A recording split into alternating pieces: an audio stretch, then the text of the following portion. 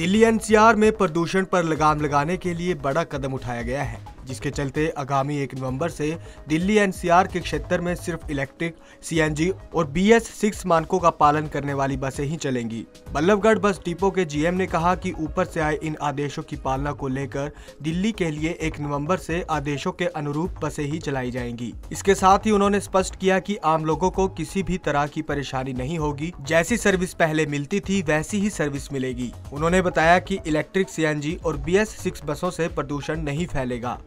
जो मुख्यालय की तरफ़ से एयर क्वालिटी कंट्रोल एक, उसके अनुसार एक हिदायत आई है कि जो दिल्ली में पोल्यूशन कम करने के लिए, उसके तहत जो है, एक नवंबर से केवल यूरो सिक्स या सीएनजी बसेज या इलेक्ट्रिक बसेज भेजने के आदेश हैं।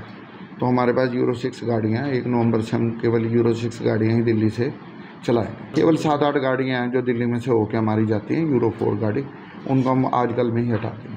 तो एक नवंबर से पहले। नहीं बाकी जगह तो अभी हटाने के आदेश नहीं है केवल इनको हैं जब तक। ये कंडमनेशन के भी नज़दीक हैं अदरवाइज़ यूरो थ्री तो। पोल्यूशन कम हो जाएगा जितनी भी दिल्ली में गाड़ियाँ जा रही हैं बाकी सर्विस तो जूँ के त्यों हैं। सर्विस में तो कोई कटौती या बढ़ोतरी नहीं है फ़िलहाल इसमें। पंजाब केसरी टीवी के लिए फरीदाबाद से सुधीर शर्मा की रिपोर्ट।